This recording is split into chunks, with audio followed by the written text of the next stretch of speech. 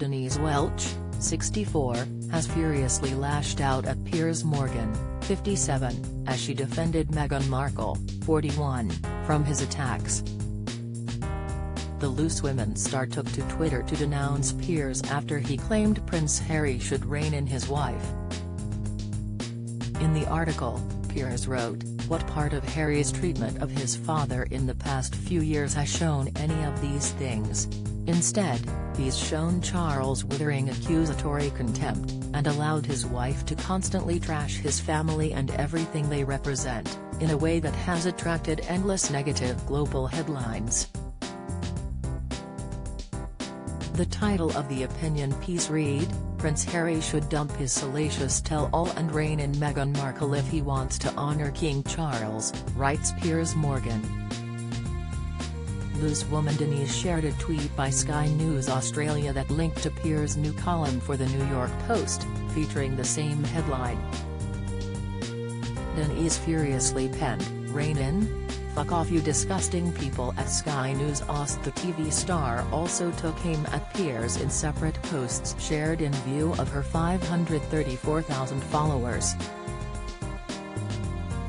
She retweeted a post by journalist Molly Jong-Fast that featured a screenshot of Piers' column, with Molly adding, Um shut up shut up shut up shut up shut up shut up shut up shut up shut up. Denise later shared a tweet by Twitter user Chimps in Socks that read, I've never seen this before. People like Piers Morgan and Angela Levin are so clearly hateful, resentful bullies. I can only imagine what it must be like losing your mom in such a hideous way directly because of the media attention and then watching your wife go through it too. The string of tweets reposted today marks Denise's most recent clash with Piers' views on Meghan Markle.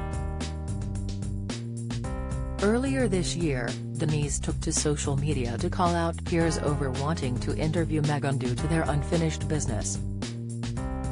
Piers Morgan divides fans with reminder dig at Meghan Markle as kids gain royal titles, Inside Alan Sugar reacts to rubbish King Charles III claim about Meghan Markle and Prince Harry, latest, Piers had declared on Australian TV that he had asked Meghan to come for an interview on his new show on Talk TV. Denise responded to an Express